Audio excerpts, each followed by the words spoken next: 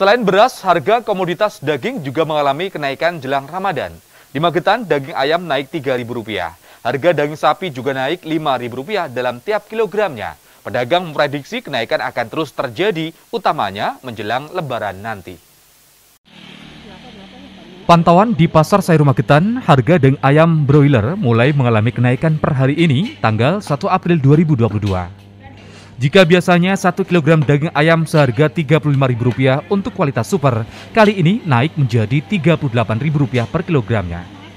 Pengakuan pedagang selain karena permintaan pasar yang tinggi, jelang bulan puasa Ramadan, harga dari kandang juga mengalami kenaikan di awal April ini. Sehingga mau tidak mau, pedagang juga harus menaikkan harga bagi konsumen agar tidak merugi. Biasanya 35 mas, hari ini 38, persiapan hari puasa naik berarti ya? Gimana mas? Naik berapa itu? Bu? Naik 3000 mas. Sejak kapan?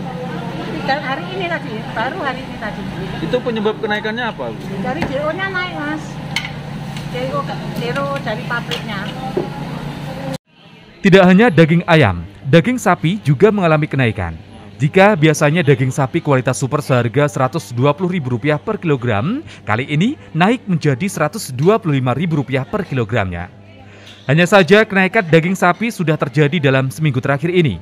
Pemicunya karena harga daging sapi potong dari peternak juga mengalami kenaikan. Kan normalnya 120, sekarang naik jadi 125 itu yang suka. Sudah berapa lama naiknya? Gimana? Naiknya sudah berapa lama? Naiknya kira-kira udah satu mingguan ini. Daerah sini. Itu kenapa mbak naik? Soalnya itu dari pasokan sapinya mas. Katanya kan kita kan juga ada yang masukin sapi jadi sapinya itu memang dari harganya udah mahal jadi kan kita ambil dari yang pemasok sapi udah mahal jadi mau nggak mau kan daging juga harus ikut naik harganya oh memang sapinya yang naik gitu iya katanya juga pasokannya juga langka gitu cari sapi Para pedagang memprediksi kenaikan harga daging ayam atau sapi bisa saja terjadi lagi jelang Lebaran Idul Fitri nantinya.